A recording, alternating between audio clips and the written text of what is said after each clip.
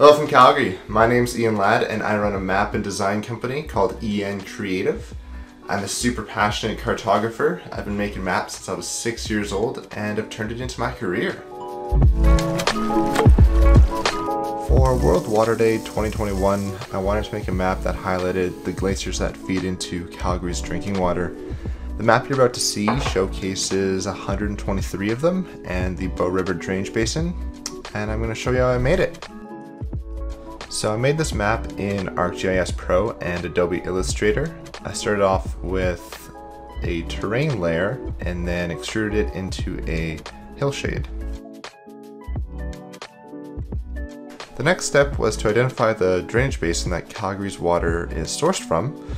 I then added in the water network, which included the Bow River and various other rivers and streams that flowed into it.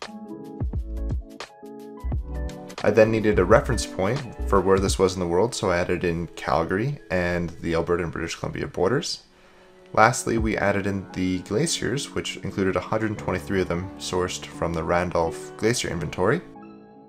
To finalize this map, I added a title, a legend just to let people know what was what, the sources of the data I collected, and my company's logo.